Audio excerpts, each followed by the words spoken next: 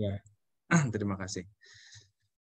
Uh, kemudian juga tadi mahasiswa ya, mahasiswa program studi kimia yang hadir ya, mudah-mudahan nanti uh, bisa bertambah lagi yang uh, bergabung ya di ruang virtual ini.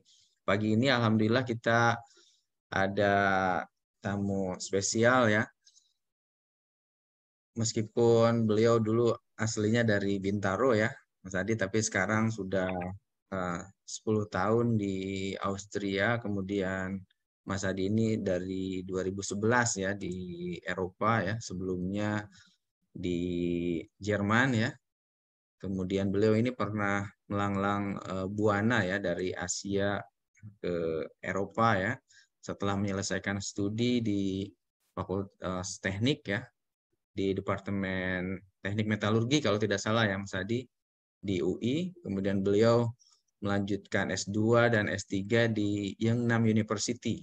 Nah, mudah-mudahan betul nih pronunciation-nya. Yeongnam University di Korea Selatan. Kebetulan tahun ini ada mahasiswa kami yang dapat beasiswa dari Korea Selatan dua orang yang tahun ini ya Bu Vera ya, kemudian juga Taiwan ya. Uh, jadi ada beberapa mahasiswa kita yang lanjut S2-nya di uh, Korea dapat beasiswa dari sana.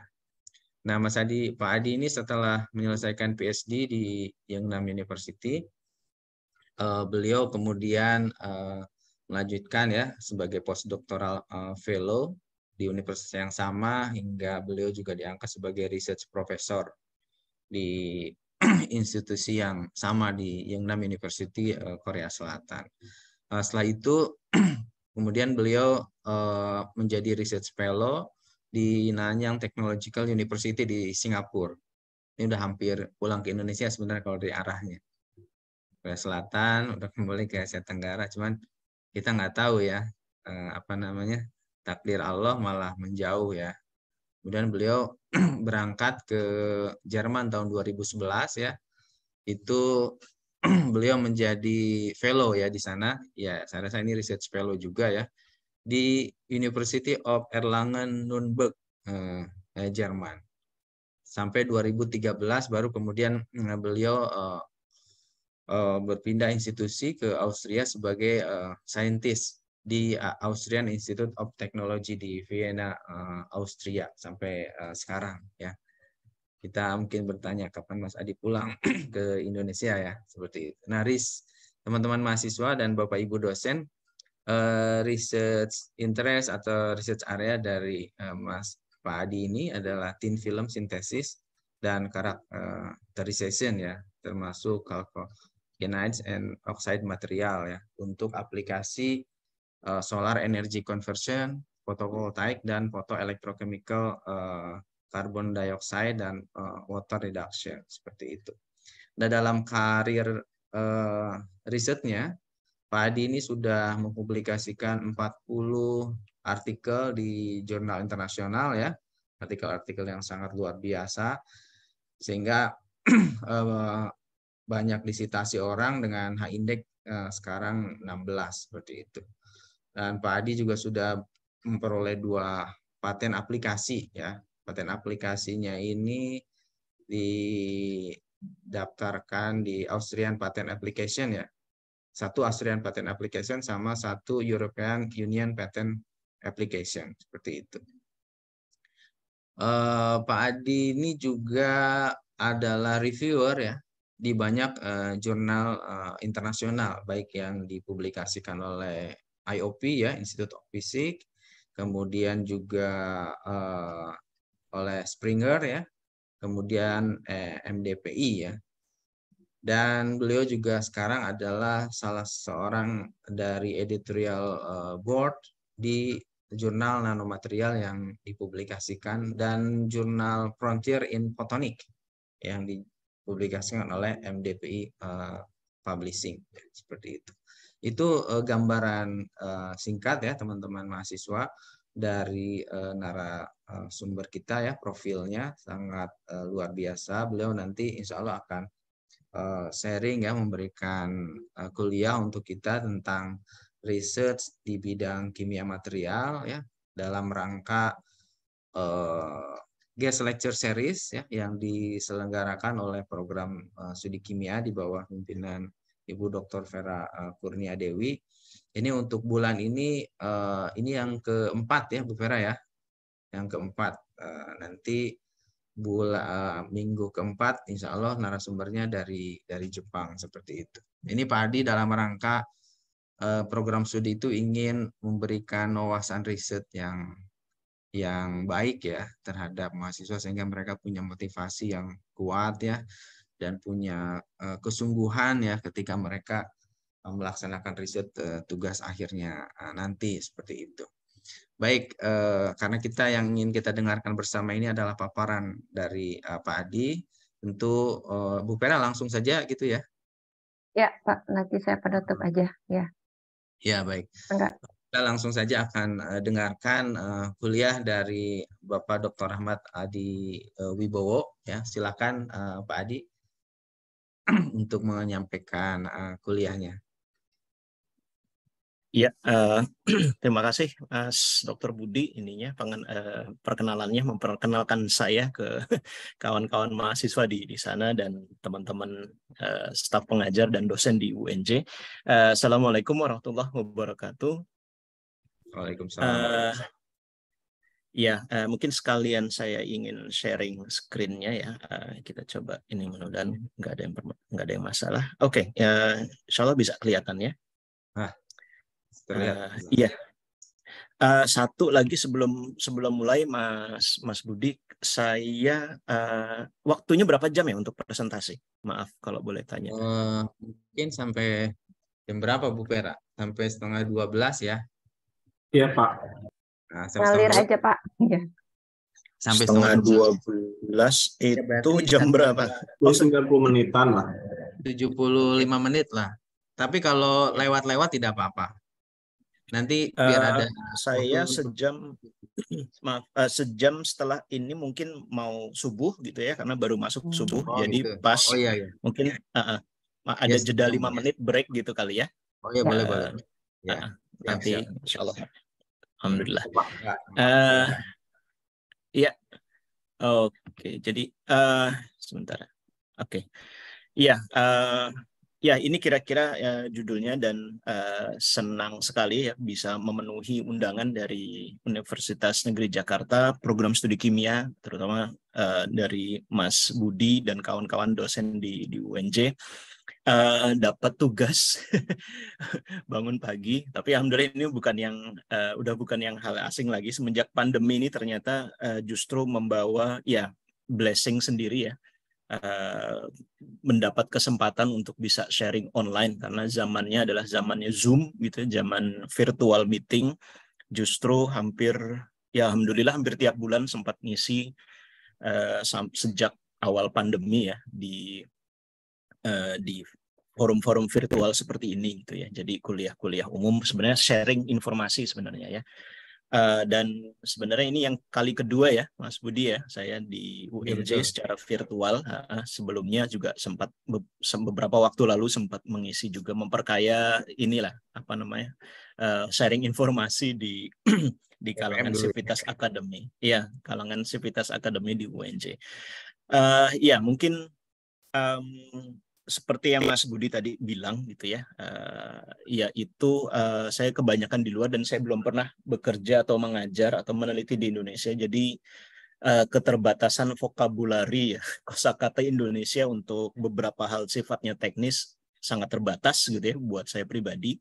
Jadi mungkin akan ada agak mix istilah ya dalam bahasa Inggris, tapi nanti akan kita jelaskan dan kalau tidak jelas juga gitu ya mungkin kita bisa uh, eks, mengeksploitasi um, sesi tanya jawabnya gitu ya insya Allah seperti itu.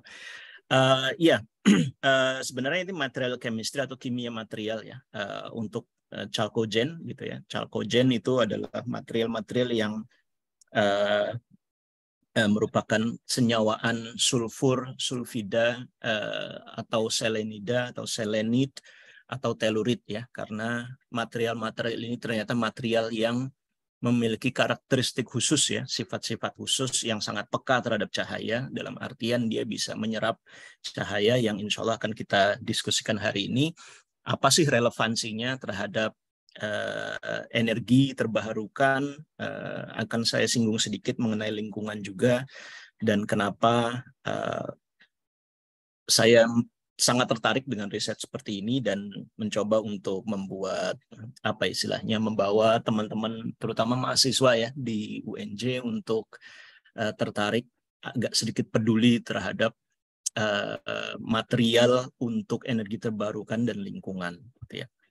Uh, ini tadi sudah dibacakan, mungkin saya skip. Terima kasih sekali atas uh, yang telah memperkenalkan saya, jadi tidak perlu uh, panjang lebar lagi. Ya, buat yang belum pernah ke Vienna, Austria, sebentar ini pointernya, saya bisa pakai pointer. Ya, uh, ini kampus kami ya. Sebenarnya kita sebut kampus karena kita sudah berada dalam satu lokasi. Ini Austrian Institute of Technology. Ini logonya, logo kami, AIT. Uh, eh, Austria itu sebenarnya berbahasa Jerman ya. Jadi uh, bahasa sehari-hari di sini di luar itu Jerman, tetapi namanya itu bahasanya Inggris gitu. Saya juga kurang paham kenapa. Jadi Austrian Institute of Technology ini kampusnya adalah di Vienna. Uh, ini kantor kantor saya tepat berada di pinggir jalan sebenarnya, tetapi laboratorium kami ada di di gedung yang ini. Jadi ini semua sudah satu kampus istilahnya. Ada 1.500 saintis di AIT gitu ya, uh, plus uh, tenaga administrasi, PhD student dan sebagainya, mahasiswa-mahasiswa S1, S2, S3 yang melakukan tugas akhir, riset dan sebagainya itu ngumpul semua di sini uh, kota Vienna sendiri tahun ini ya tahun ini udah kembali lagi jadi apa istilahnya the most livable city gitu ya. Uh, jadi kota yang paling layak huni lah istilahnya seperti itu. Ya alhamdulillah uh, suasananya nggak terlalu ramai nggak terlalu padat gitu ya nggak terlalu sepi juga gitu. Jadi uh, lumayan bisa dinikmati setiap pagi. Kalau misalnya kantor saya biasa naik sepeda juga gitu ya dari rumah ke ke kantor Uh, ya, untuk sedikit trigger diskusi hari ini, uh, ini foto kami ya, foto-foto yang saya ambil di daerah Schneeberg namanya, kira-kira 30 km di selatan kota Vienna. Uh, sebenarnya nggak nggak tepat untuk membandingkan apple to apple ya karena ini bulan Mei ini bulan Juli ya. Yang satu baru awal summer awal musim panas yang satu di tengah-tengah musim panas. Tapi biasanya di tengah-tengah musim panas itu masih ada salju di atas dan kita bisa hiking ke sini ya. Ini waktu bulan Mei.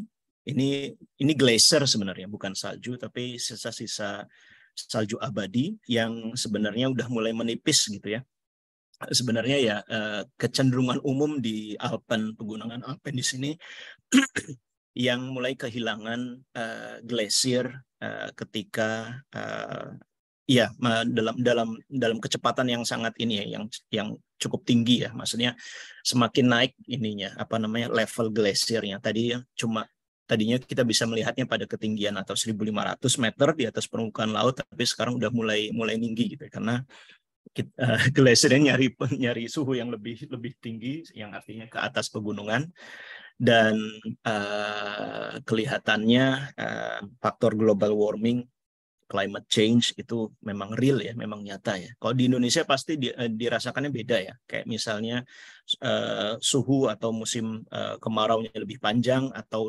bahkan musim hujannya lebih panjang dan sebagainya. Uh, itu memiliki efek yang beda. Tapi setidaknya climate change itu real gitu ya. Uh, ada tiga atau empat skenario sebenarnya ke depannya itu suhu permukaan planet kita seperti apa. Dan uh, yang menem, yang, meneru, yang menemukan uh, apa istilahnya uh, penyebab atau faktor climate change atau global warming itu kan orang kimia ya. Saya lupa siapa peraih Nobel kimianya. Dia itu yang meneliti apa efek karbon dioksida di udara terhadap uh, apa namanya gas rumah kaca ya uh, greenhouse effect. Jadi sebenarnya anak kimia yang menemukan yang bisa me, apa ya men, mengidentifikasi apa sih penyebab kenapa suhu temperatur temperatur di permukaan bumi itu naik gitu ya. Uh, semua tentang kimia sebenarnya. Dan ini ada empat skenario. Apakah kita mau uh, apa istilahnya fine fine fine aja gitu ya uh, seperti ini, tapi konsekuensinya kira-kira 100 tahun kemudian ya udah nggak ada lagi mungkin salju di planet kita gitu ya. Uh, ini sekedar untuk diskusi saja. Uh, ini adalah skenario beberapa uh, aktivitas istilahnya ya. Apa sih yang perlu dilakukan gitu ya uh, sebagai driving force kalau kita kita sebut sebagai tenaga penggerak arah pendidikan, arah penelitian, arah riset, yaitu semuanya menuju ke arah carbon uh, neutral society, ke arah uh, apa namanya uh, zero emissions uh, society seperti itu. Um, ya maaf ya sekedar uh, ini karena saya satu layar di suara suara saya masih terdengar jelas ya. Mas jelas, jelas, mas, jelas. Oke, okay. iya ya. Terima kasih. Oke, okay. uh, so lantas strateginya mungkin ini juga uh, bisa dijadikan gambaran kira-kira ke depannya kita itu seperti apa dan mau ke mana gitu ya. Uh, ini ada sekedar informasi, ada tipikal keyword ya, kata kunci uh, ke depannya itu setidaknya di European Union, di Austria, di di di Jerman dan lain-lain kita ada beberapa uh, kata kunci yang akan jadi uh, penggerak ke mana kita ke arah uh, untuk untuk melawan apa climate change ya, melawan perubahan iklim. Pertama energi efisiensi. Artinya kalau misalnya kita punya bohlam gitu ya, uh, maka teknologi akan diarahkan bagaimana membuat bohlam bisa memiliki uh, level penerangan yang sama tapi memakan energi yang lebih sedikit semacam mengganti bohlam lampu yang biasa wolfram itu dengan LED misalnya kemudian low carbon technology misalnya uh, mengubah apa istilahnya diesel tenaga uh, pembangkit tenaga diesel untuk membangkitkan listrik menjadi misalnya solar uh, panel mengganti dengan PLTS surya atau PLT uh, angin seperti itu. Tentu saja kemudian ada isu tentang reforestation. Reforestation itu ya penghijauan ya hutan ya. Kita balikan kembali fungsi hutan. Kemudian 3R kelihatannya sudah paham semua, reduce, reuse, recycle.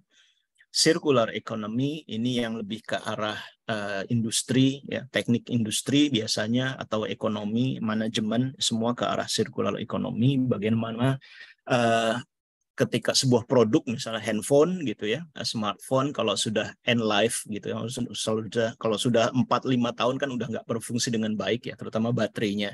Jadi akhirnya bagaimana itu bisa balik lagi ke perusahaannya di recycle lagi kemudian di dikeluarkan lagi dalam produk yang berbeda uh, sehingga apa namanya energi untuk membuatnya lebih sedikit Nah, untuk jauh, uh, untuk hari ini uh, kelihatannya topik yang pas itu adalah dengan menggunakan non fossil based fuels berbahan uh, bahan bakar non fosil gitu ya, uh, non oil, non gas untuk menggerakkan ekonomi kita gitu ya. Nah, salah satu lebih spesifiknya sebenarnya hidrogen.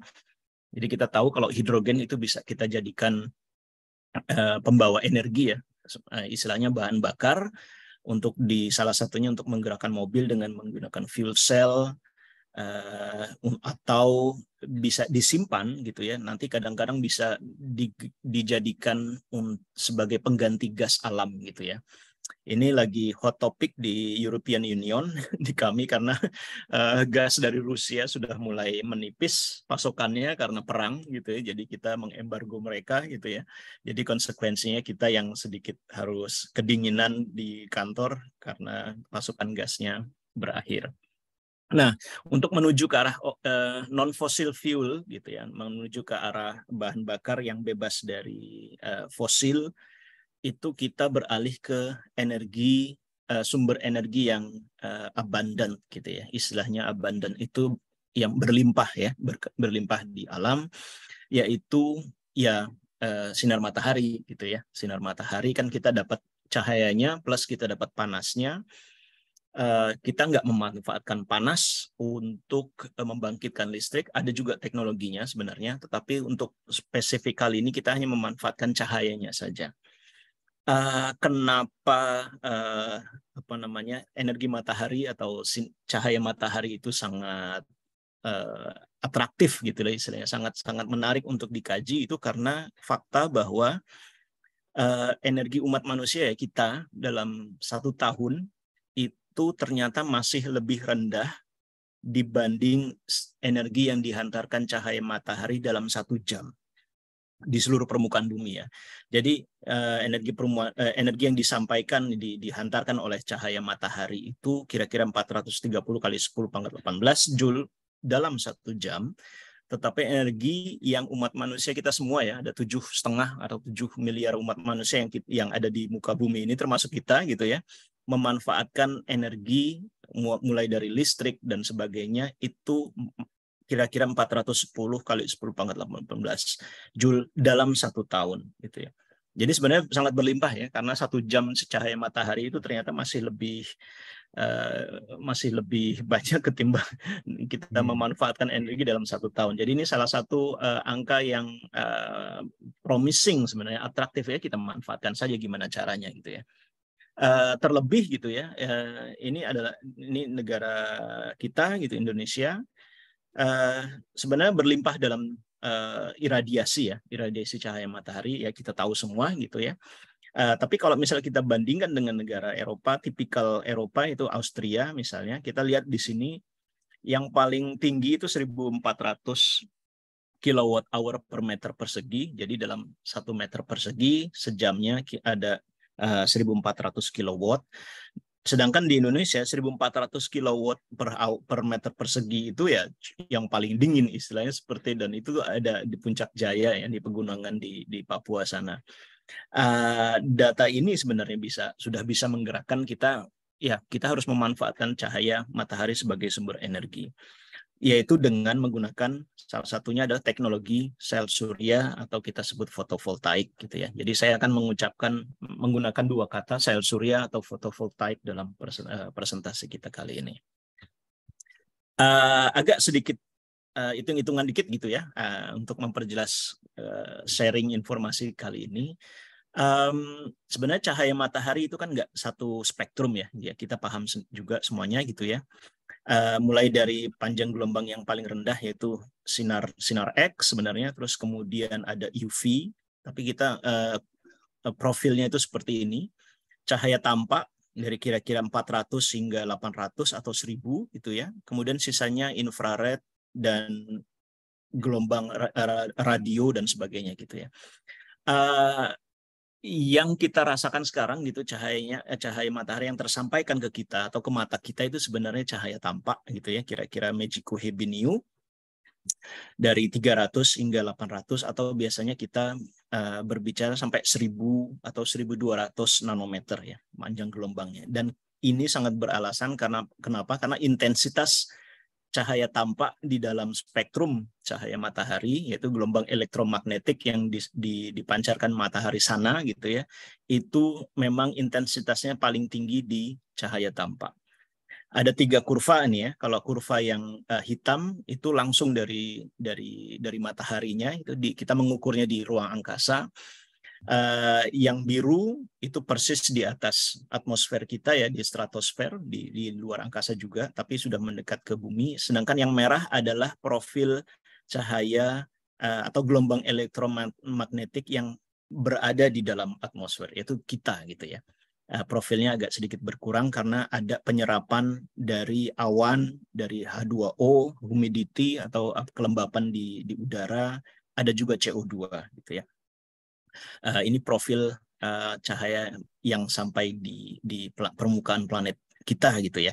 Uh, uh, harus sedikit nah um, untuk uh, sharing informasi kali ini saya ingin coba sedikit menekankan konversi dari panjang gelombang ke energi gitu ya. Jadi panjang gelombang itu uh, berbanding terbalik terhadap berbanding terbalik dengan energi. Jadi kalau misalnya kita berbicara tentang energi uh, cahaya matahari spektrum merah gitu ya, 700 maka ada nilai konversinya yaitu uh, seperti ini gitu ya. Jadi kalau misalnya uh, merah kira-kira 600 nanometer seperti ini kita sudah tahu semuanya tapi memiliki energi kira-kira 2,07 elektron volt. Jadi satuannya lebih ke arah fisika sebenarnya, bukan kimia ya. Uh, sedangkan spektrum biru itu 400 itu memiliki energi lebih besar 3,1 elektron volt.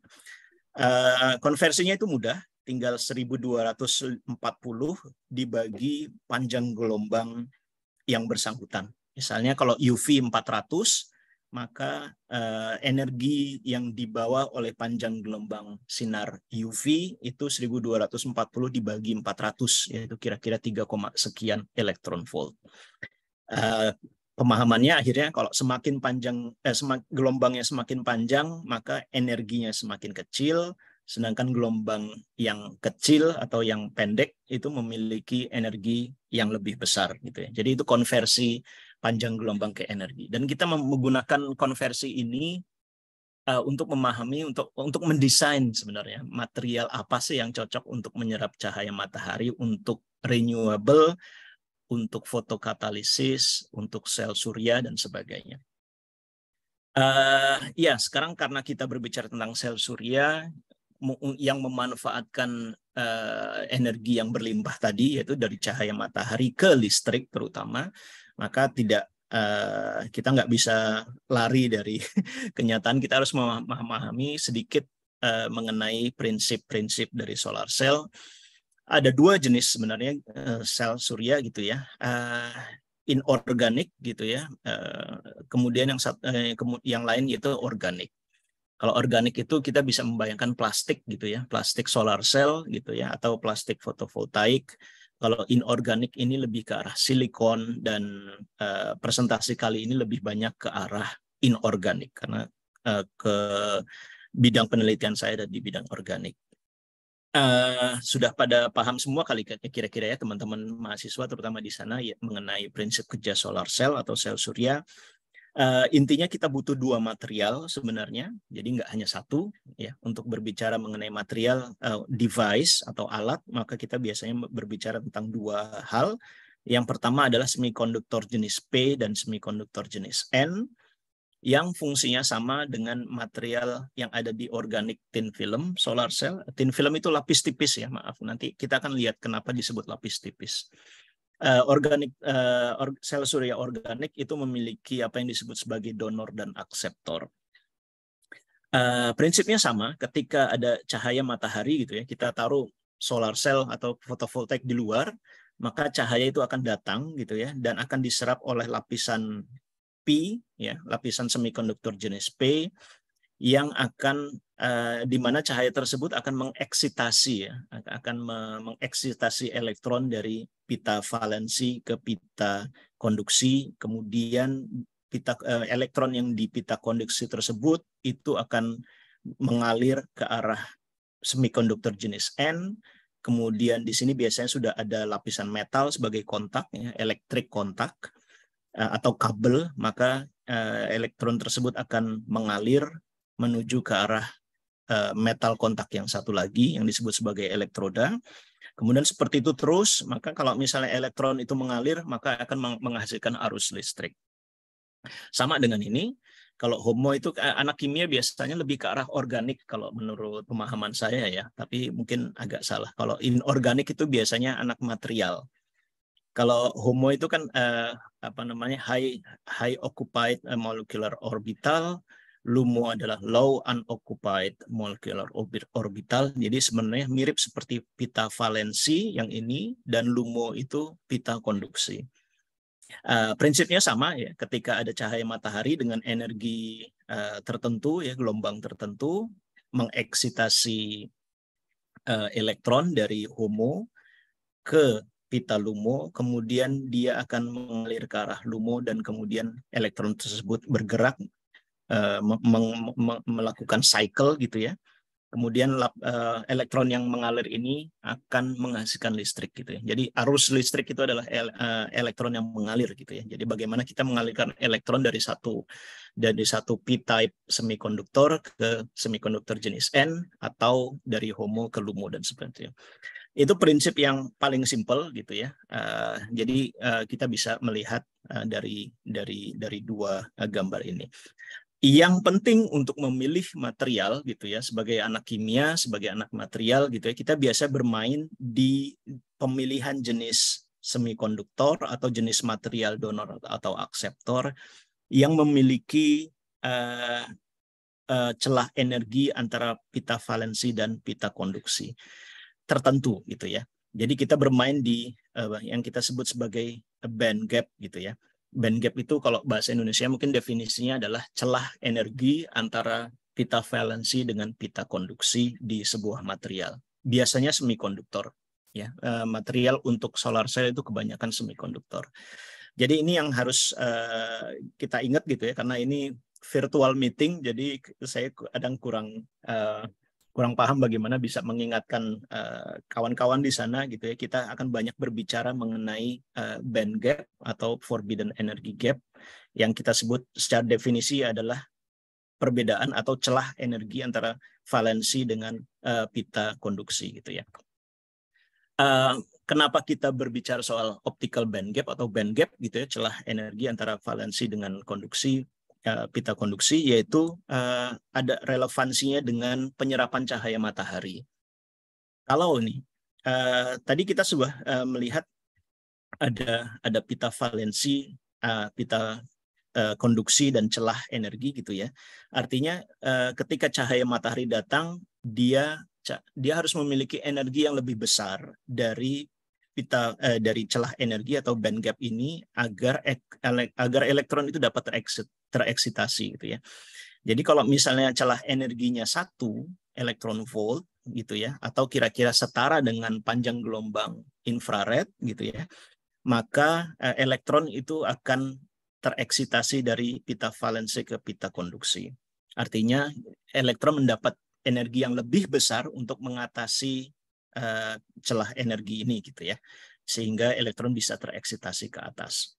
Nah itu yang prinsip sel surya bahwa apabila uh, ada material yang memiliki celah energi gitu ya band gap sebesar satu elektron volt maka dia bisa berfungsi sebagai solar cell karena cahaya tampak yang ini yang mayoritas ini itu sebenarnya lebih besar dari satu elektron sehingga material ini bisa dijadikan sel surya gitu ya untuk bisa diaplikasikan sebagai sel surya. Karena energi yang ini sebagaimana tadi sudah saya singgung semakin kecil panjang gelombang cahayanya maka energinya semakin besar gitu ya. Jadi yang di arsir bagian kuning ini itu memiliki energi yang lebih besar dari satu elektron volt lebih besar dari uh, celah energi yang dimiliki oleh material yang memiliki celah energi satu elektron volt sehingga material ini bisa kita kita pakai sebagai solar cell. Kalau misalnya material lain misalnya dengan celah energi yaitu seperti silikon uh, uh, CIGS nanti kita jelaskan apa itu CIGS itu memiliki uh, celah energi yaitu celah antara pita valensi dengan pita konduksi sebesar 1,3 eV gitu ya 1,3 elektron volt maka dia bisa menyerap sinar matahari mulai dari UV hingga kira-kira uh, green ya, sehingga kira-kira hijau 800 nanometer. Uh, lebih lagi misalnya ada material gallium arsenide, uh, cadmium telluride gitu ya. Itu celah memiliki celah energi 1,5 elektron volt sehingga yang diserap oleh material tersebut adalah dari UV hingga kira-kira green juga ya kira-kira panjang gelombang hijau yaitu 750 yang setara dengan 1,5 elektron volt. Jadi material-material ini yang bisa kita manfaatkan uh, sebagai material solar cell uh, untuk keperluan solar cell gitu ya. Nah, sebenarnya berapa sih jenis berapa ada berapa sih jenis solar cell di yang di pasaran? Sebenarnya ada cuma ada tiga atau empat sebenarnya. Yang kita biasa lihat di luar uh, di jalan gitu ya, uh, itu adalah jenis silikon.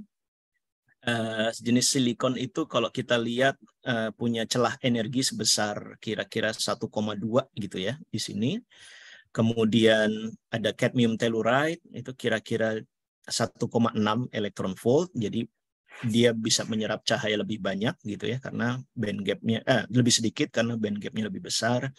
Ini yang kita sebut sebagai SIGS Uh, itu adalah senyawaan alloy dari copper, indium, gallium, selenium yang bagian kita eh, bahas dan merupakan bidang saya itu adalah kita sebut CZTS, copper zinc tin sulfide gitu ya atau ke tembaga seng, timah dan sulfur. Jadi CZTS.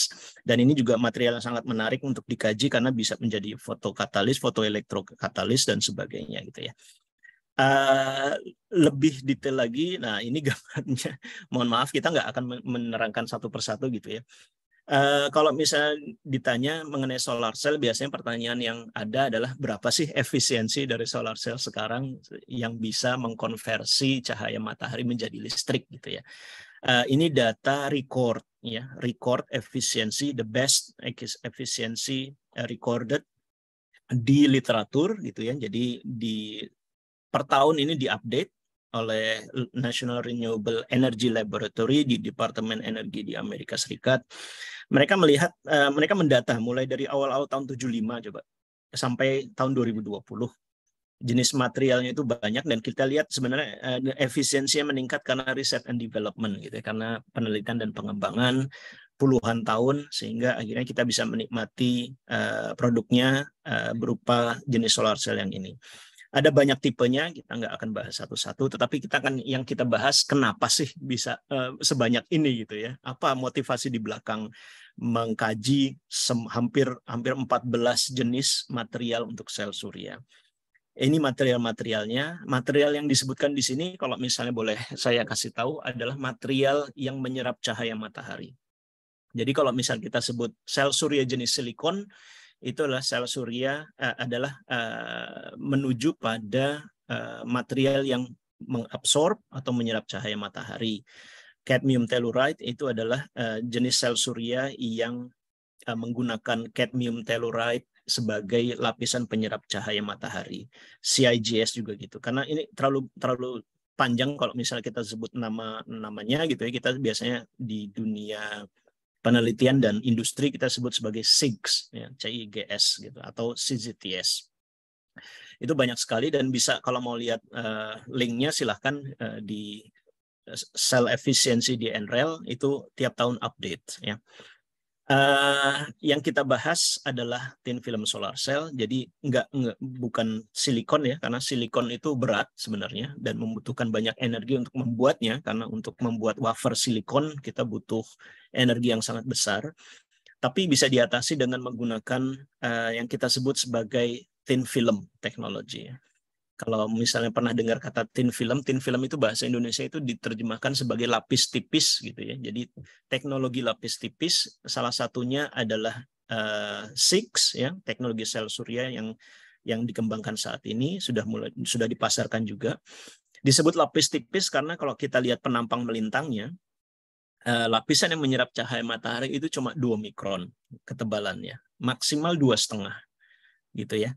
Uh, ini kenapa disebut sebagai lapis tipis. Uh, silikon itu bukan bukan uh, lapis tipis karena silikon itu berupa wafer gitu ya, silikon wafer gitu ya, yang tebalnya kira-kira 0,2 mm. Jadi 100 kali lebih tebal dari uh, jenis uh, teknologi SIG sebenarnya. Dan keuntungan kalau misalnya kita punya lapis tipis gitu ya, lapisan yang sangat tipis eh, yang bisa menyerap cahaya matahari itu kita bisa membuat fleksibel uh, solar cell atau sel surya yang fleksibel. Ini long apa namanya sih uh, salah satu kolaborator kami di Austria mereka membuat sel surya yang bisa dilekuk ya karena saking fleksibelnya gitu ya. Uh, gunanya banyak kalau misalnya kita mau aplikasikan sel surya di atas mobil Eh, kendaraan bermotor atau pesawat bahkan itu kita bisa menutup semua uh, lapisan permukaan yang bergelombang, melekuk dan sebagainya, enggak hanya sekedar uh, flat gitu ya, uh, lurus saja gitu. Uh, ini juga yang dikembangkan di lab kami sama-sama uh, dengan thin film. Kalau misal kita lihat uh, gambar yang paling kanan gitu ya, ketebalannya itu kira-kira ini 1300 nanometer atau 1,3 uh, mikron itu yang bisa dikembangkan di lab kami dan ini publikasi eh, setahun lalu dari dari grup kami. Dan kita lihat berapa tipis gitu ya uh, sel surya ini sebenarnya. Dan ini yang sedikit menantang karena untuk membuatnya semakin tipis maka ada ada ada efek pada efektivitas penyerapan cahaya dan sebagainya. Dan uh, kita bisa diskusi secara detail lain.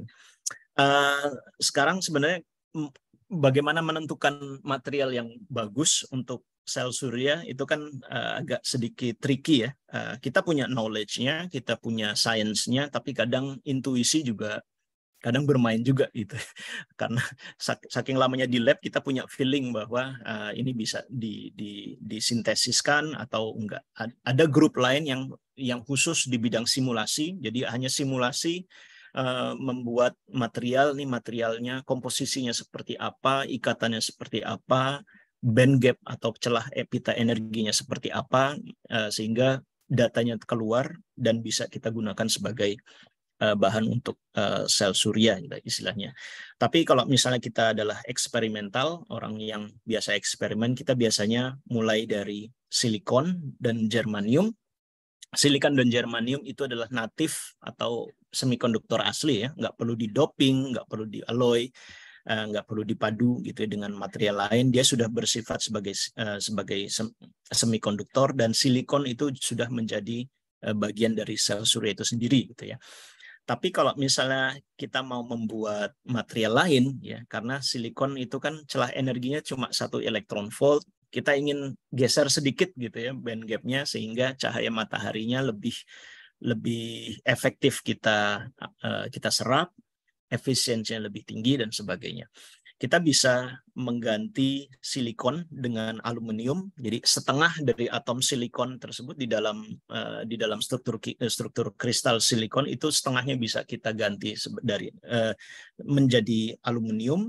Setengahnya lagi kita bisa ganti dengan uh, dengan uh, fosfor, dengan arsenide dan dan lain sebagainya ya. Kita bisa mengganti silikon dengan setengahnya ya sebenarnya setengahnya dengan gallium setengahnya lagi dengan arsenide indium dengan arsenide dan sebagainya. Ini bisa saling mensubstitusi sehingga yang kita sebut sebagai semikonduktor jenis 35 ya. Ini terlalu detail sebenarnya tapi uh, sekedar untuk membuat feelingnya saja gitu. Feeling bahwa material itu banyak sekali alternatifnya uh, aluminiumnya itu juga bisa kita ganti ya. Setengahnya dengan seng setengahnya lagi dengan uh, uh, maaf silikon itu bisa diganti setengahnya dengan seng dengan sulfur menjadi zinc sulfide menjadi cadmium selenide cadmium sulfide material material yang merupakan kombinasi antara kolom zinc dengan periodik kolom uh, chalcogen atau sulfide uh, struktur kimia itu kayak uh, struktur kristalnya seperti ini gitu ya karena ternyata semua semikonduktor yang baik untuk sel surya itu memiliki kristal struktur seperti silikon. Jadi kristal strukturnya sama, ya struktur kristalnya sama, Uh, kemudian setengahnya kita ganti dengan aluminium, setengahnya kita ganti dengan fosfor, maka kita akan membuat aluminium fosfide dengan struktur kristal yang sama dengan silikon yang berfungsi juga sebagai semikonduktor. Ini ini adalah salah satu gambar zinc sulfide, kita ganti uh, setengah dari silikon menjadi seng gitu ya, setengahnya lagi menjadi sulfur, maka menjadi zinc sulfide dengan kristal struktur yang sama kita sebut kristal strukturnya zinc uh, zinc blend ya. Saya dulu waktu di S1 itu belajar mengenai kristalografi dan mineralografi. Jadi ada kata-kata yang harus dihafal gitu. Kayak misalnya ini struktur ini adalah spalarit atau zinc blend. Struktur ini adalah struktur diamond dan sebagainya gitu ya. Uh, kenapa kita main-main seperti ini? Itu karena kita ingin tahu sih sebenarnya band gap-nya itu berapa gitu material ini. Dan yang lebih ini lagi, mana material yang bisa kita aplikasikan sebagai solar cell. Dari semua jenis kombinasi material sebenarnya cuma indium phosphide, gallium arsenide dan uh, apalagi indium arsenide mungkin terlalu kecil ya. Kira-kira seperti ini. Gallium arsenide itu adalah yang paling yang paling umum di di di, di investigasi sebagai material sel surya kita agak sedikit eh, main-main uh, lagi gitu ya. Tadi kita sudah uh, melihat tentang zinc sulfide. Ternyata zincnya itu metalnya masih bisa kita ganti setengahnya itu uh, dengan copper, uh, silver atau gold gitu ya, uh, emas. Setengahnya lagi dengan aluminium, gallium sama indium. sehingga kita akan membuat material yang kita sebut sebagai uh, misalnya uh, tembaga indium sulfide atau copper indium sulfide yang merupakan material dari sel surya.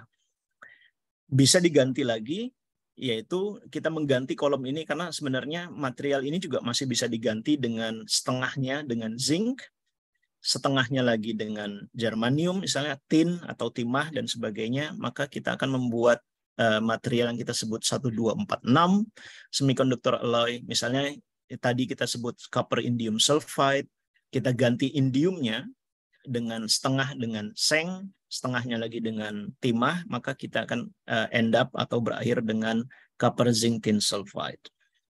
Uh, sama tujuannya kenapa kita main-main seperti itu. Kenapa? Karena kita ingin tahu sih sebenarnya material mana yang cocok untuk sel surya. Eh, celah energi material-material ini eh, bisa mengarahkan kita untuk eh, menggunakan material ini untuk menyerap cahaya matahari karena material ini memiliki band gap atau celah energi antara pita valensi dan pita konduksi sebesar 1 hingga 1,5. Ini material yang sudah ada di pasaran sebenarnya, sudah bisa uh, dipasarkan dan uh, berfungsi baik dengan sebagai solar cell. Eh, konklusinya summary misalnya untuk yang sekarang kita bisa uh, ini adalah zinc blend atau ZNS kita bisa ganti 50% menjadi copper dan 50% lagi menjadi indium gitu ya tembaga dan indium maka akan kita akan kita akan mendapatkan copper indium sulfide solar cell material gitu ya material untuk sel surya uh, yang jadi masalah indium kadang harganya mahal ya. Indium itu mahal sekali harganya. Salah satu rare earth, bukan rare earth, tapi material yang sangat kritis di alam. Kita sebut kritis karena pasokannya sedikit, tapi kita butuh material tersebut untuk terutama untuk LCD, untuk OLED, untuk hal-hal yang sifatnya display. Jadi layar komputer yang ada di depan kita itu menggunakan uh, indium Nah, kita bayangkan kalau setiap orang punya laptop, maka berapa banyak indium yang diperlukan gitu ya. Jadi indium ini sangat mahal sekali karena demand-nya tinggi. Maka uh, salah satu kegiatan di lab kami adalah mengganti indium dengan uh, seng yang berlimpah gitu ya, dan setengahnya lagi dengan timah. Kita end up kita uh, berakhir dengan CCTS copper zinc tin sulfide. Itu alasan kenapa banyak sekali orang meriset tentang sel surya uh, informasi bagaimana meng, bagaimana mensintesanya gitu ya. Kalau bahasa kimia itu kan sintesis ya. Uh, bagaimana sih uh, material material-material sel surya? Saya kasih contoh ini copper zinc tin sulfide atau CZTS. Komposisinya itu kira-kira idealnya 25% tembaga, 12,5% seng, 12,5% timah, dan 50% sisanya ialah uh, sulfur gitu ya. Um, kit, prinsipnya sih sebenarnya satu, uh, teman-teman bisa sebenarnya mendeposisi atau me, me, mengendapkan material-material uh, yang sesuai dengan komposisinya ya. Kira-kira material tembaga, material seng, material timah gitu ya. Bisa berbentuk serbuk, powder, kita bisa deposisi dengan electroplating gitu ya, electrochemical deposition dan sebagainya. Itu menjadi copper zinc tin uh, tembaga seng sama timah. Kemudian kita annealing ya, ada uh, temperatur perlakuan temperatur tinggi namun dengan menggunakan sulfur sebagai sumber uh, uapnya. Kita ada uap sulfur karena sulfur itu kan gampang menguap ya atau dengan menggunakan H2S. H2S itu agak sedikit tricky, agak sedikit bahaya, tapi uh, itu berfungsi dengan baik untuk mensintesa uh, material ini ya. Kalau di lab kami, kami menggunakan tembaga chloride, copper chloride, uh, seng klorida atau zinc chloride, tin chloride, thiourea itu sebagai sumber sulfur karena thiourea ada sulfurnya dan larutan DMSO organic solvent untuk membuat ink ya. Ada ink transparan seperti ini.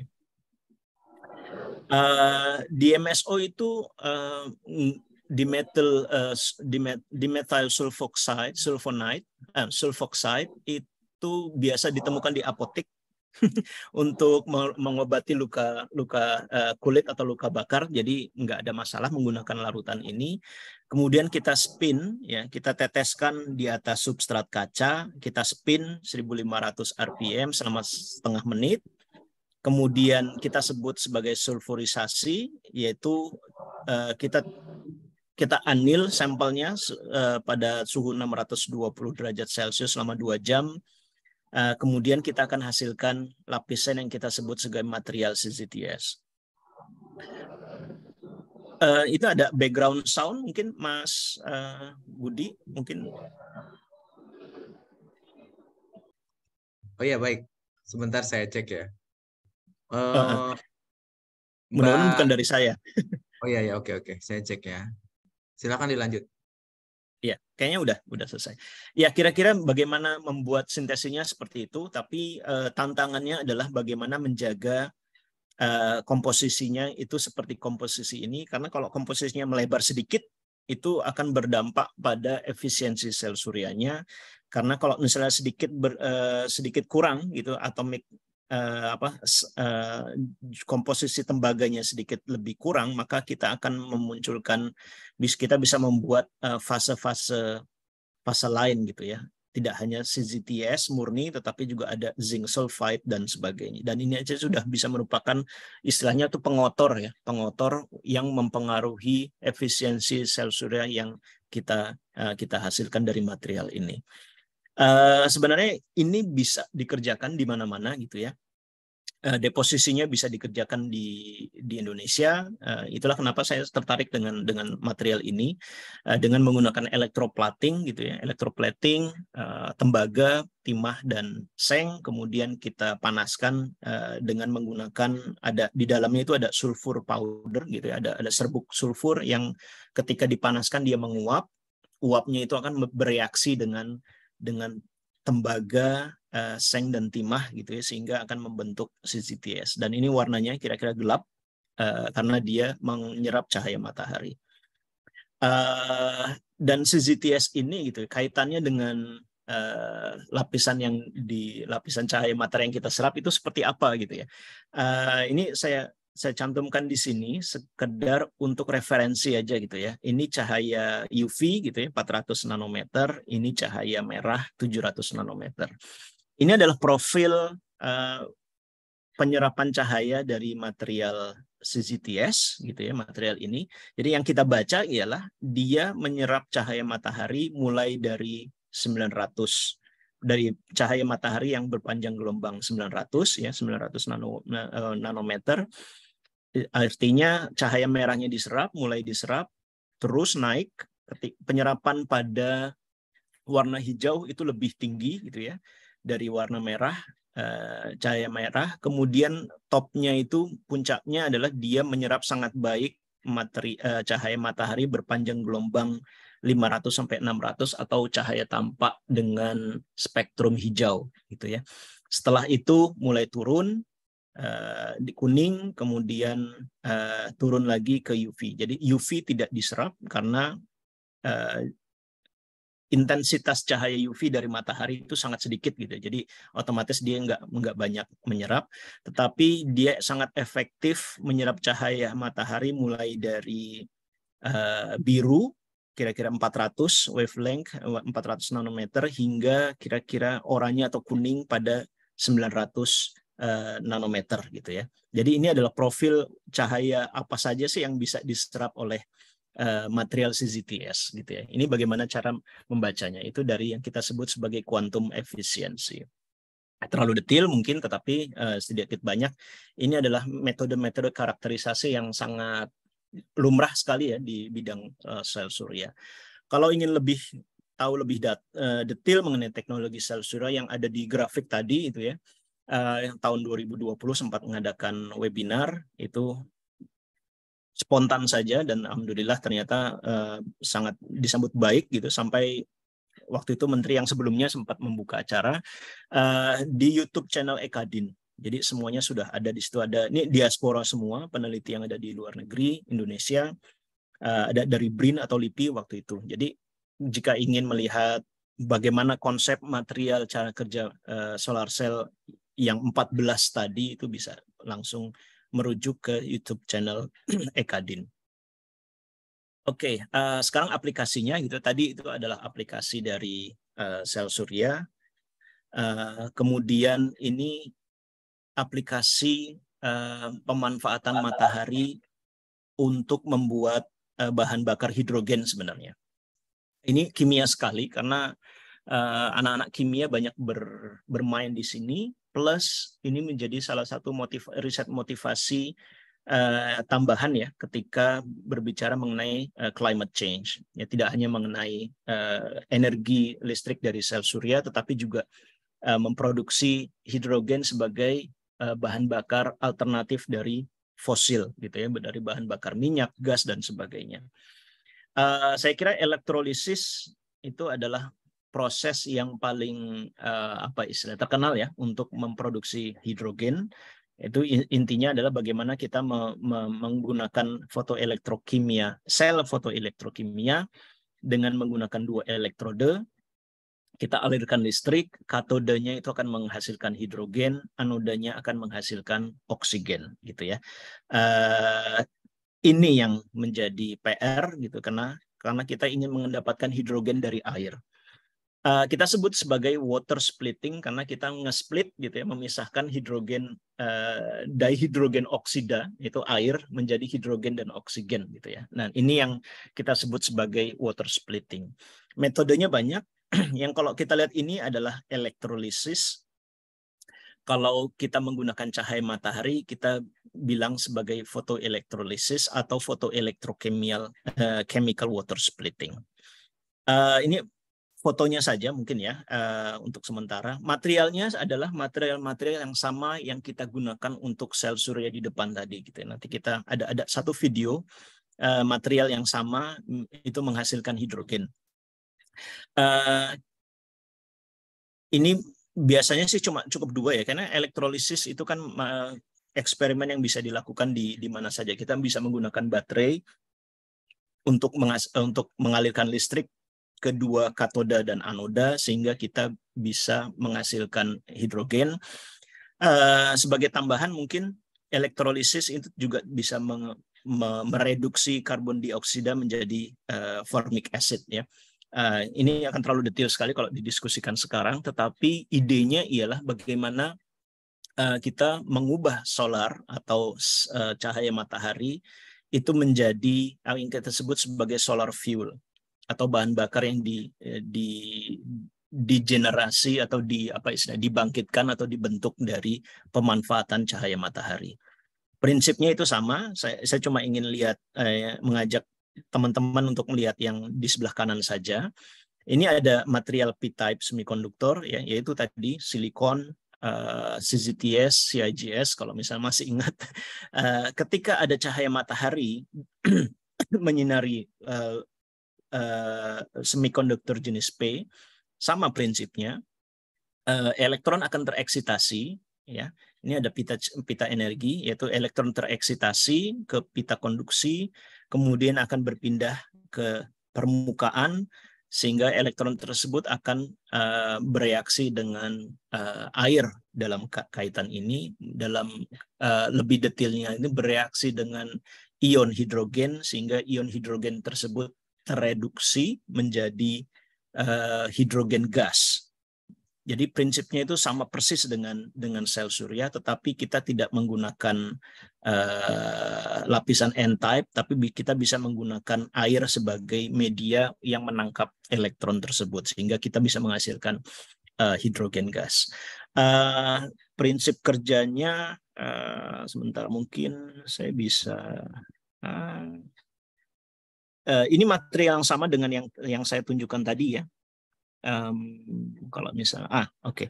Uh, eh, jadi ini material CZTS, material yang kita gunakan biasanya sebagai sel surya. Ini reference electrode, ini maaf uh, kurang profesional ini videonya, tapi mudah-mudahan bisa bisa dilihat. Dan ini adalah platinum uh, yang sebenarnya titanium, tapi kita gunakan sebagai uh, anoda ya uh, ini bisa istilahnya nanti idenya idenya eksperimen ini ialah kita membuka cahaya uh, membuka lampu sehingga kita akan mendapatkan hidrogen di sisi uh, katoda atau elektroda atau atau CCTS-nya ya. Kita bisa lihat uh, persiapannya, kemudian uh, lampunya kita buka gitu ya. Kemudian mudah-mudahan bisa terlihat ada bubble atau gelembung-gelembung hidrogen yang ter uh, yang dihasilkan di katoda atau di material CCTS.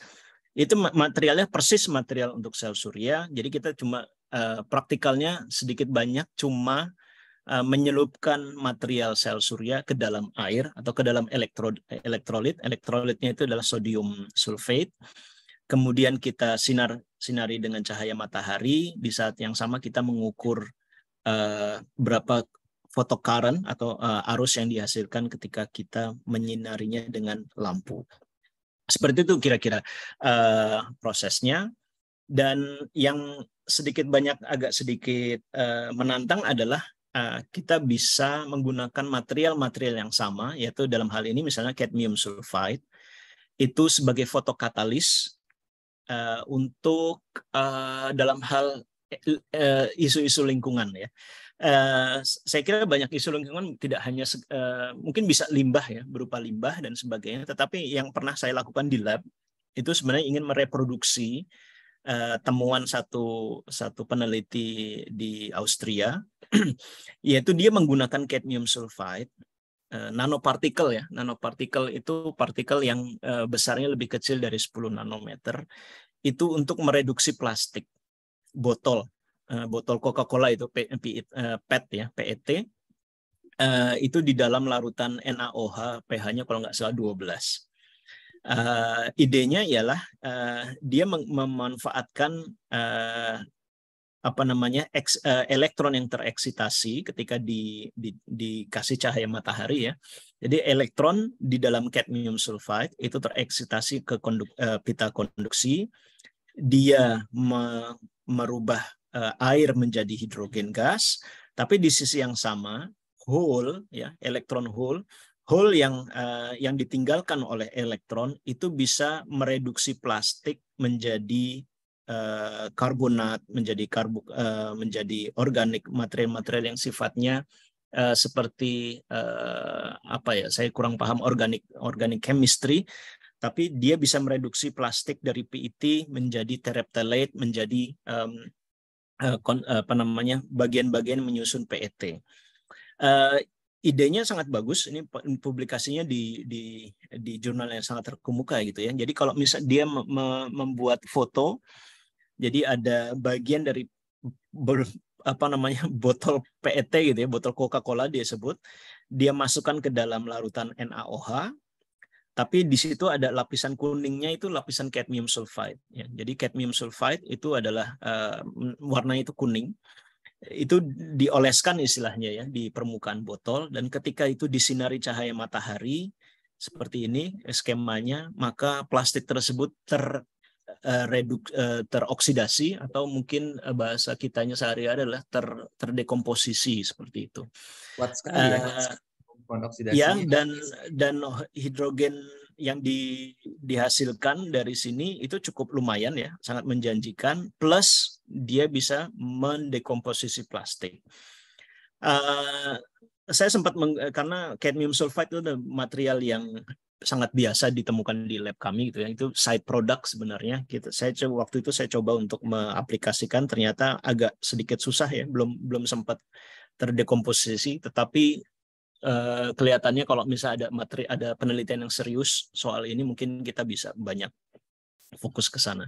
Dan ini sempat kita lirik sebagai satu satu proposal penelitian, tapi nggak nggak jalan juga. tapi setidaknya uh, ini salah satu tantangan ya. Maksudnya uh, ternyata chalcogenides yaitu material-material yang uh, belakangnya itu ada chalcogennya, senyawa anchalcogen itu uh, itu memiliki uh, apa namanya istilahnya eh, sifat-sifat uh, yang sangat menguntungkan kita ya sebenarnya. Untuk dari sisi energi terbarukan dari sisi lingkungan aplikasinya juga uh, sudah mulai banyak ditemukan dan ini sangat mengundang uh, mengajak sebenarnya anak-anak uh, kimia untuk turut aktif ya. Dalam kaitan ini adalah uh, berkaitan dengan lingkungan, energi terbarukan dan lebih besarnya lagi adalah perubahan iklim.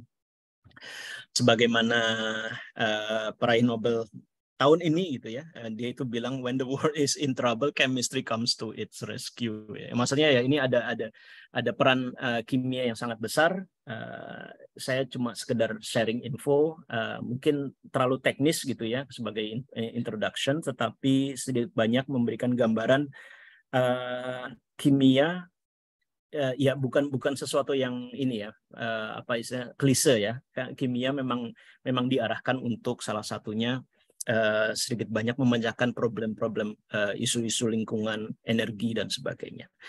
Uh, ya mungkin itu Mas Budi, Mas moderator dan teman-teman dosen dan teman-teman mahasiswa.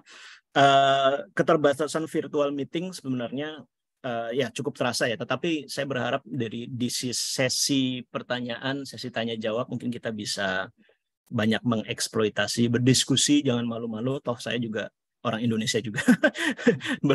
Enak kalau ada pertanyaan uh, silahkan di, ditanyakan dalam bahasa Indonesia juga, nggak ada barrier communication dan dan insya Allah ini bermanfaat gitu ya. Uh, terima kasih sekali ini atensinya dan kita bisa uh, lanjut ke sesi berikutnya. Baik. Terima kasih Mas Budi ya. Ini saya Baik. stop ininya ya. Uh, Baik. Baik, luar biasa ini Mas Adi. Terima kasih ini kuliahnya. uh, saya percaya dengan paparan tadi ya teman-teman mahasiswa meskipun baru akan masuk ke fase riset ya penjelasan yang sangat detail tadi uh, insya Allah akan bisa dipahami ya memberi wawasan yang cukup luar biasa ya mengenalkan tentang eh,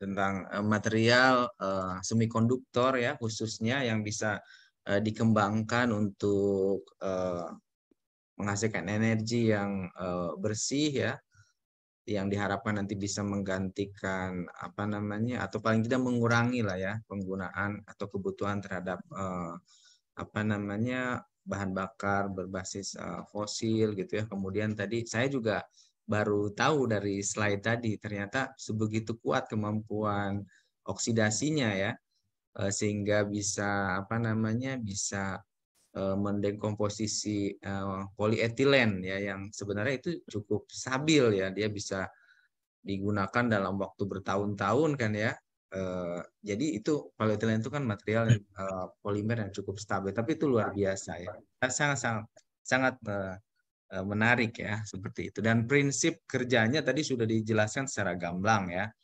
Nah silahkan uh, jika ada yang ingin didiskusikan Mas Adi uh, soal subuhnya berapa lama lagi nih? Kira-kira uh, kalau misalnya ada satu pertanyaan satu pertanyaan dulu. Uh, oh, boleh. Yang lain ya. masih ya. masih wudhu jadi ya, kita silakan. bisa uh, mungkin pemanasan. Silakan satu pertanyaan ada uh, dari Bapak Ibu dosen yang ingin didiskusikan atau dari mahasiswa. Ayo boleh eh, apa namanya kameranya di apa namanya udah pada mandi ya dibuka coba kameranya ya itu buka ya, prodi aja buka kamera tuh ya ayo ya. kan lagi Kenal menerima sama, tamu jadi eh, Pak Adi ya, ya jauh-jauh dari Austria ini ya udah meluangkan waktu di sana jam pagi ya subuh jadi ya, sebelum luar biasa subuh, sekali ya, pengorbanan Pak Adi sebelum subuh di sana beliau itu ya, ya udah ya, bangun Oh, ya. Ada yang ingin didiskusikan? Ali mungkin mau bertanya Ali. Ada satu di ruang chat itu. Oh, okay. uh, ada ya, sudah ada. Uh, Alhamdulillah. Nah, ini dari siapa nih? Dari Ali ya. Ali. Oke, Ali mau mau disampaikan langsung coba silakan. Ke Pak Adi langsung. Oh iya Pak. Terima ya, kasih Pak. Mm -hmm. ya, uh, sebelumnya Terima kasih Pak atas kesempatannya. Uh, saya izin bertanya. Tadi Bapak banyak menjelaskan material semikonduktor berbahan logam. Nah, tadi juga disebutkan ada gallium arsenid dan beberapa bahan lain yang berbasis logam ya Pak. Nah, berkaitan dengan lingkungan, bagaimana untuk uh, isu limbah heavy metals yang dihasilkan Pak? Nah, dan saya juga pernah mencoba eh, membaca ada material berbasis karbon yaitu GO dan ergo, RGO. Nah, itu bisa digunakan untuk proses water splitting. Nah, kita tahu juga material tersebut sangat, sangat melimpah. Nah, uh, sekarang bagaimana potensinya Pak? Apakah Bapak juga interest di uh, itu material berbasis karbon untuk semikonduktor dan lain-lain Pak? Oke, baik. Cukup Ali ya pertanyaannya ya, sudah ya. Mas Adi bisa ini menangkap pertanyaannya? Iya, uh, ada dua sebenarnya, limbah, satu ya, limbah, satu lagi organik ya. Iya, uh, iya, yang untuk limbah sendiri sebenarnya satu bagian dari uh, apa istilahnya mungkin kalau kita sebut sekarang itu sirkular ekonomi ya, tetapi zaman dulu itu belum ada, kira-kira lima atau 10 tahun lalu belum ada. Tetapi uh, itu juga problem sebenarnya nggak hanya untuk gallium arsenide dan sebagainya, tetapi juga di di bidang uh, fotovoltaik jenis silikon itu juga problem. Kenapa? Karena setelah 20-30 tahun pemakaian gitu ya, itu harus diganti ya.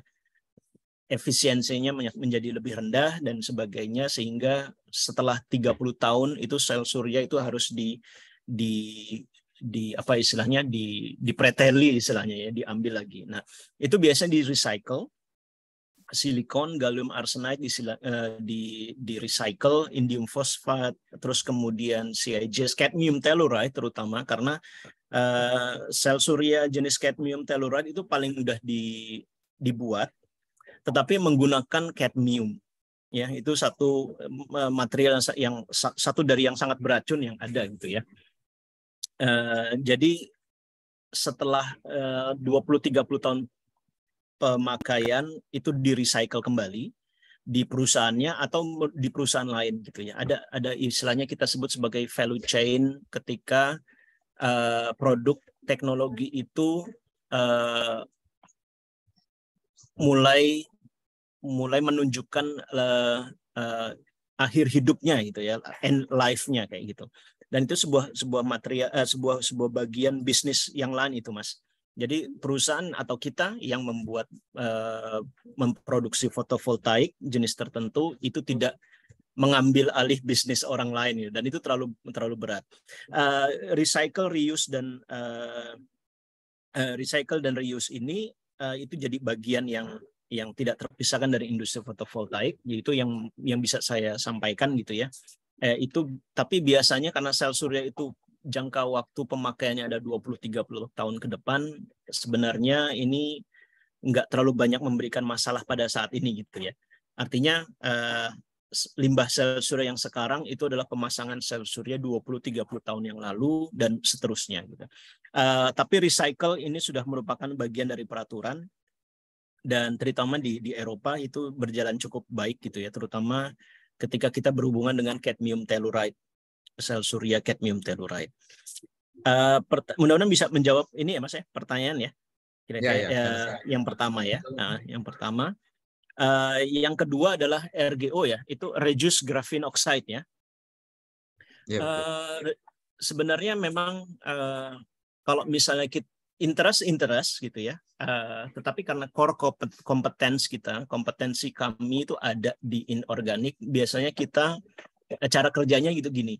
Uh, kita mengundang gitu ya uh, pihak lain yang memiliki expertise, memiliki keahlian di bidang uh, RGO, ya, reduce graphene oxide, yang bisa kita aplikasikan sebagai entah kokatalis kalau memiliki sifat-sifat uh, kokatalis atau overlayer atau protective layer di uh, material inorganik yang kita buat di lab gitu ya.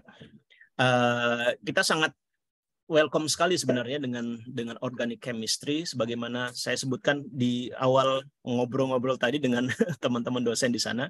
Kita memiliki project ya, scientific project uh, di bidang uh, organic chemistry uh, terutama di bidang metal organic framework jadi bukan reduce graphene MOF kita sebut metal organic framework dia bisa berfungsi sebagai katalis sekaligus juga bisa menyerap cahaya matahari yang bisa kita pakai sebagai sel surya maupun sebagai photoelectrochemical water splitting atau mengubah uh, mereduksi karbon dioksida gitu ya uh, aplikasi yang lain. Jadi uh, sangat menarik karena uh, kita butuh banyak eksplorasi di bidang material yang bisa me membuat proses lebih efisien gitu ya. Plus yang terutama adalah upscalable ya. Upscalable itu artinya bisa di, eh, di digunakan atau diproduksi dalam skala skala besar. Karena kalau tidak bisa diproduksi skala besar, maka industri tidak akan bisa ikutan memproduksinya dan problematika yang sangat besar nggak bisa kita kita cari solusinya gitu ya. Eh, RGO itu saya pernah baca, saya tidak belum pernah melakukan RGO, tapi saya baca itu memiliki sifat-sifat katalis ya. Mungkin uh, Mas Budi dan kawan-kawan dosen UNJ uh, eh, lebih paham soal ini. Tetapi kalau untuk biasanya yang kita lakukan adalah kita mengaplikasikan RGO sebagai uh, lapisan tambahan uh, di uh, foto electrochemical water splitting atau fotovoltaik yang kita kita gunakan di di lab atau kita produksi di lab seperti itu. Mungkin seperti itu Mas Ali. Uh, terima kasih sekali pertanyaannya itu bagus bagus sekali. Oke, baik. Uh, terima kasih uh, Mas Adi. Mungkin mau sholat dulu ya. Kita break uh, iya. sebentar. Uh, silakan. lima uh, lima menit hmm. dan uh, kamera dan uh, mikrofonnya saya ini ya, saya mute dulu, saya matikan dulu. Uh. Iya baik. Kita bertemu lima menit lagi insya Allah ya, kira-kira. Insya Allah. Ya, prodinya itu dari. Ayo, makan ya kalau radiasi apa namanya cahaya matahari itu ya uh, untuk material uh, katakanlah fotovoltaik gitu ya itu hmm. bisa diserap oleh material setebal kira-kira dua dua mikrometer ya, Mas Adi ya? Mm, iya. Artinya kan, uh, apakah berarti itu radiasi matahari itu bisa bisa mempenetrasi material setebal dua mikrometer itu ya? Uh, kemudian uh, karena kasus saya misalkan ya, saya itu Halo? Suara saya? Iya. Karena kasus saya itu kan saya menumbuhkan uh, kokatalis di atas semikonduktornya. Nah, sementara hmm. kokatalisnya hmm. itu kan logam. Saya mencoba se sedapat mungkin uh, partikel itu sangat halus, kemudian supaya tipis, karena saya berpikir supaya tidak menghambat uh, apa namanya uh, ya paparan ya, paparan uh, cahaya itu terhadap uh, semikonduktornya gitu. Nah, ketika tadi disampaikan bisa sampai 2 mikron ya, itu apakah karena material tertentu Mas Adi atau untuk seperti material logam juga itu sama gitu. Bisa bisa lewat e, setebal itu.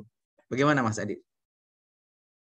Uh, ya, makasih Mas. Um, ya itu ditentukan ya memang uh, ada dua dua pendekatan ya untuk membedakan uh, kita eh, interaksi cahaya dan benda ya. Uh, apa sih istilahnya? Uh, light and matter interaction itu kan ada ada dua ada tiga sebenarnya. Satu transmisi optical transmisi. Kayak kita ngelihat kaca keluar jendela itu kan kita tembus pandang gitu ya. Itu kita sebut yeah. sebagai transmisi karena cahaya matahari sampai ke mata kita Kedua, absorpsi seperti yang kita bahas sekarang itu material yang bisa menyerap cahaya matahari uh, dengan band gap tertentu. Dan yang ketiga itu refleksi sebenarnya. Refleksi itu kalau misalnya kita lihat material uh, kayu, uh, metal gitu ya, uh, yang shining gitu ya kayak emas gitu kan itu dia merefleksikan uh, panjang gelombang tertentu gitu ya, itu refleksi. Uh, itu pertama kalau untuk transmisi absorpsi itu uh, berkaitan dengan uh, apa yang kita sebut uh, absorption coefficient ya koefisien absorpsi ya yang alfa ya. Uh, itu berfungsi baik untuk menjelaskan absorption atau transmission di uh, material semikonduktor. Jadi koefisien absorpsi dari material-material sel surya itu sangat besar gitu ya terutama yang tadi dua, dua mikron tadi yaitu material CIGS, copper, indium, gallium selenide, CZTS, cadmium telluride dan sebagainya. Uh, koefisien absorpsinya besar. sehingga material dengan panjang gelom uh, dengan ketebalan 2 mikron itu sudah cukup hmm. nggak nggak nggak perlu lebih gitu ya karena kalau lebih ya untuk apa gitu uh, sudah cukup untuk bisa menyerap gitu ya dan karena menyerap maka dia tidak transmisi hmm. dia nggak tembus pandang gitu ya uh, berbeda dengan silikon kenapa silikon tebal gitu ya berat itu karena silikon itu memiliki koefisien absorpsi yang jauh lebih rendah sehingga dia butuh kira-kira 200 mikron 0,2 mm tebal hmm. untuk bisa menyerap cahaya matahari. Itu pun plus harus ada mirror, ada ada cermin di bawahnya gitu. Wow. Jadi kalau misalnya kita lihat uh, karena mirrornya tadi akan merefleksi cahaya matahari kembali ke silikon dan sebagainya. Uh, refleksi itu berkaitan dengan uh, berkaitan dengan uh, dielektrik, sifat-sifat dielektrik yaitu misalnya um, apa istilah hukum Snellius itu uh, dielektrik konstan dari tiap material. Kalau dielektrik konstan itu lebih besar, besar maka dia akan refleksi dan sebagainya. Uh, untuk metal sayangnya itu harus menggunakan pendekatan uh, plasmonik kita sebut plasmonik jadi elektron yang ada di di metal tersebut itu bisa beresonansi dengan cahaya matahari gitu ya kalau refleks kalau refleksi itu artinya uh, resonansinya itu lebih lebih besar ketimbang cahaya matahari panjang gelombang cahaya matahari yang yang yang jatuh artinya gini uh, kalau ingin membuat material metal transparan itu ada ketebalan minimumnya, yaitu kira-kira biasanya kalau untuk uh, gold, untuk gold, uh, untuk emas itu kira-kira 7 nanometer. Emas 7 nanometer itu transparan seperti kaca, gitu ya. Uh, eh, 12 meter itu sudah mulai kuning, nanometer ya. Uh, artinya ya benar-benar tipis sekali gitu ya. Nggak nggak sebesar 50 kalau 50 nanometer atau 100 saja situ sudah opak udah reflektif. Jadi kalau misalnya ada material uh, kokatalis gitu ya, uh, pertama yang harus dilihat koefisien absorption-nya. Uh, yang kedua dari koefisien absorption kita bisa me, uh, apa istilahnya mengkorelasikan dengan ketebalan minimum atau ketebalan maksimum di mana material tersebut transparan atau atau absorptif gitu ya atau menyerap cahaya matahari. Yang pertama biasanya saya lihat koefisien absorption-nya atau absorption coefficient maaf. Uh, kemudian saya bisa mengkalkulasi ketebalannya. Kita tinggal tinggal dibalik aja uh, karena satuannya adalah per sentimeter. Maka kalau kita balik uh, itu udah menjadi ketebalan uh, maksimum gitu ya. Uh, saran saya sebenarnya kalau saya ingin membuat kokatalis, saya buat setipis mungkin. Pertama tidak hanya sebagai tidak hanya memiliki sifat transparansi, tetapi juga memiliki dia itu tidak tidak menjadi reflektif dan tidak absorptif karena cahaya harus sampai ke material yang menyerap cahaya matahari ya. Mungkin dalam hal ini cuprous oxide ya. Hmm, yep. Seperti itu Mas. Ah.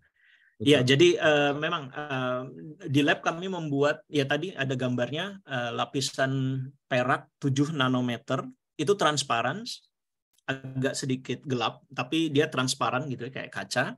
Tapi dia masih memiliki sifat-sifat perak, yaitu konduktif.